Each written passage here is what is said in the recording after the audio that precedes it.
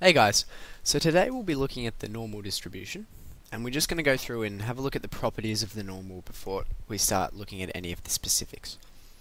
So I guess the first kind of important property of the normal distribution is that it's for a continuous random variable.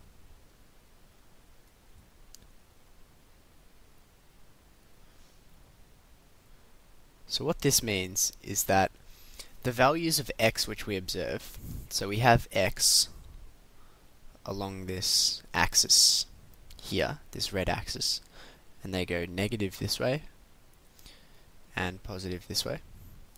So because x is a continuous random variable, it can assume any value between negative infinity, which is our negative numbers this way, and positive, infin positive infinity, which are our positive numbers this way and it can take on any, value. So it can take on negative 1 million or positive 900,002.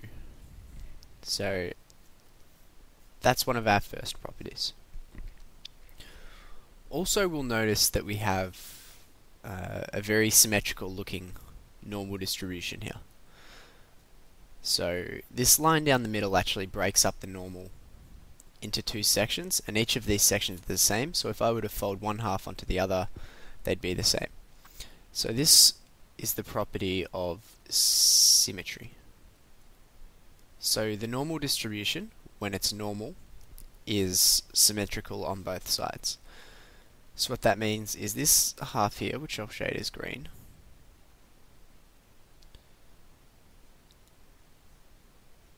is going to be exactly the same as this half here, which is this other green part.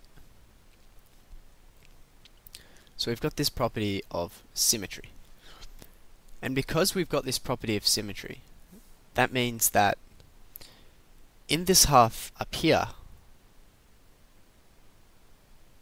we have all positive numbers and we have 50% of our data so that's this half here, above the red line. And in this half here, below the red line, we have negative numbers, and we have the other 50% of our data. So that means that if we think about this logically, we have this middle point here, which is exactly between negative infinity and positive infinity which is 0. So half of our numbers, if we can take on any number between negative infinity and positive infinity, then half of them will be between 0 and infinity, so we've got 50% this side, and the other half will between be between 0 and negative infinity, so we'll have 50% on this side. This also allows us to work out some quite basic probabilities. So I'll write these here in this nice purple. So we've got numbers which are greater than 0 and less than infinity. Uh, there'll be 50% of them from 0 to infinity. So what we can write is the probability that x, and remember this PR brackets x just means the probability of x, the probability that x is greater than 0 will be equal to 0.5. And this 0.5 is just equal to this 50% on our here divided by 100% to convert it back into a decimal so we get this 0.5 value because that cancels and that cancels and that cancels so we're left with just 1 on 2 which is equal to 0.5 also the probability that x is less than 0 so x is this way is equal to 0.5. And that's the exact same rationale. So if 50% of the numbers are this way, so 50% of our data lies to the left or below zero, then the probability that we choose a number less than zero is going to be equal to 50%. And if we convert that back into a probability, so we do 50% divided by 100%, we just get 0.5. Lovely. So then this gives rise to our, our next observation.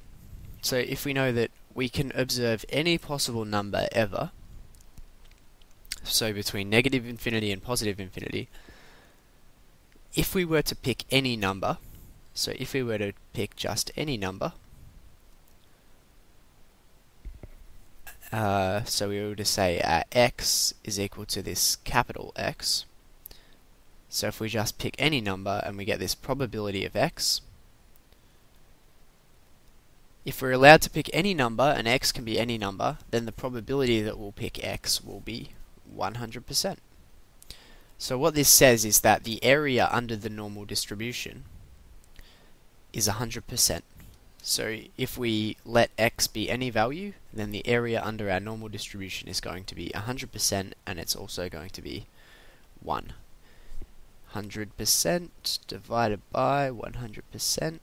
So this will give us a probability of 1. So the area under this curve, the total area, which I'll shade up in purple. Yep.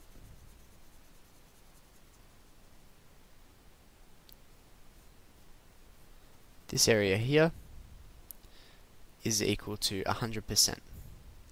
So we've got Lovely.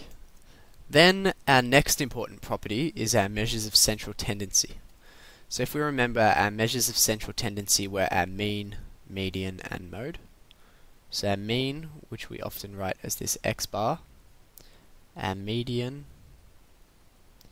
and our mode.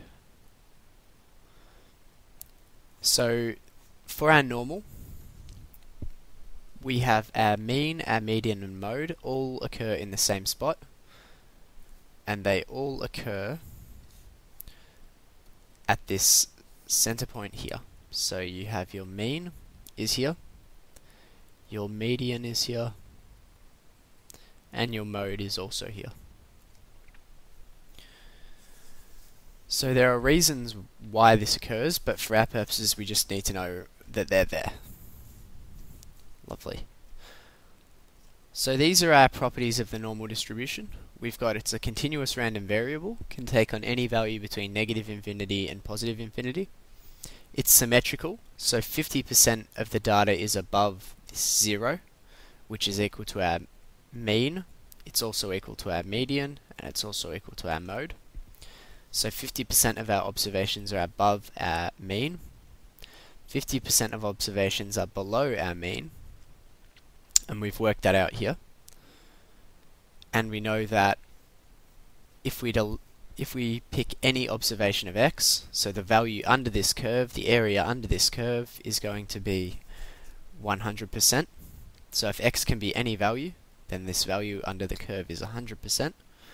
And we also know that for our measures of central tendency, our mean, median and mode, they all occur at this middle red axis of 0, where we have our mean equal to 0, our median equal to 0, and our mode equal to 0. So that is a brief summary, brief summary of our standardized normal distribution. And we'll have a look at that in more detail in future lectures. Thanks guys.